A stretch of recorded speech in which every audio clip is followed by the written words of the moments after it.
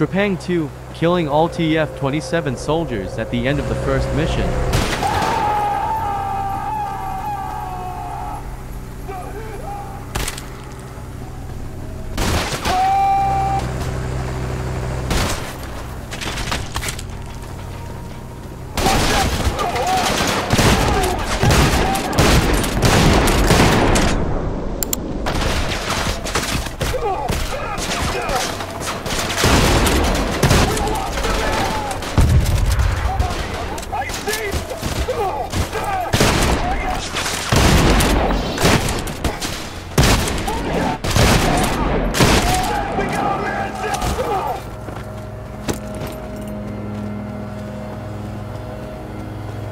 Thanks for watching.